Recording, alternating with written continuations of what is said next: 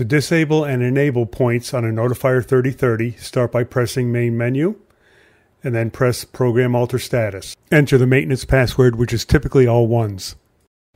Then press Accept, Alter Status menu, Enable Disable. You're going to need to know the loop and the address number of the device you're going to disable. This is a standalone system, so leave that as node 0. We're going to disable loop 2, detector 001, press accept. It'll show you the address you entered. It'll tell you where it is here. Press the disable, and then press yes to confirm. After it's complete, back out of the menu all the way, and you're going to have to acknowledge the trouble because that device is disabled. If you want to re-enable that device, you're going to have to go back into the menu. You'll need to re-enter the maintenance password. Next, you want to reselect that point, press accept, then press enable. After that, press the back button to the main screen.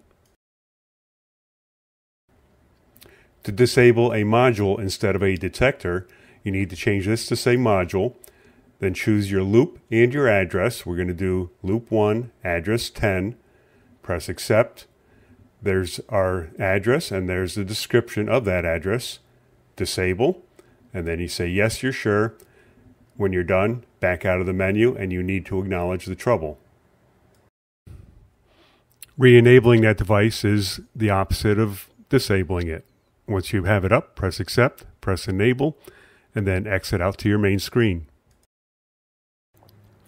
Besides detectors and modules, you can disable other features in the system such as zones, but you kind of need to know how the system's programmed.